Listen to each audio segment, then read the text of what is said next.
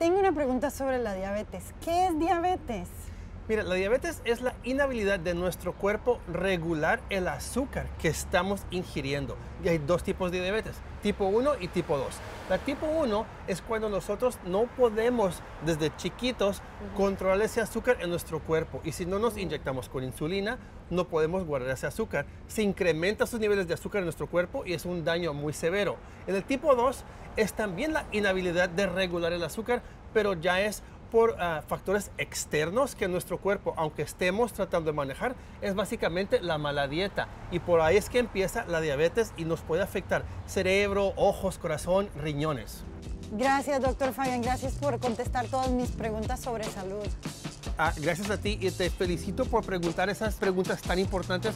Por favor, continúa educándote y a tu familia sobre la importancia de una buena salud.